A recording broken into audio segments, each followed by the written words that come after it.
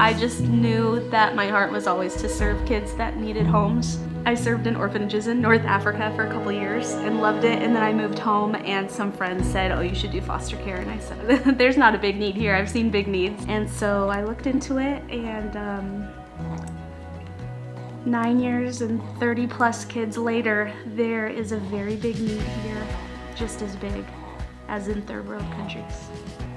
I had no idea what I was getting into when I started. I guess I thought I would just be taking care of babies and and loving kids, but there's so much more to it than that. So much more that's beautiful and hard and painful and redemptive and worth it.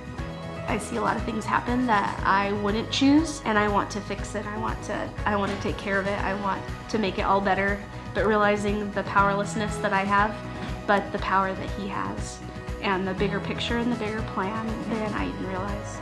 Friends has a life group that kind of like took us on and would bring us meals like every month and just kind of love on us and pray for us and um, that was huge.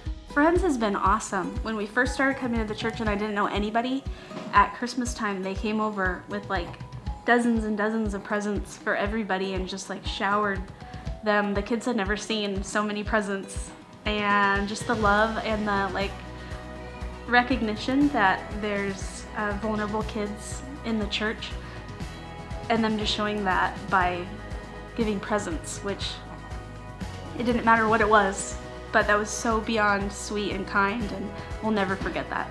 As a mom, when someone loves your kids, that's all you need. It's been the biggest joy of my life.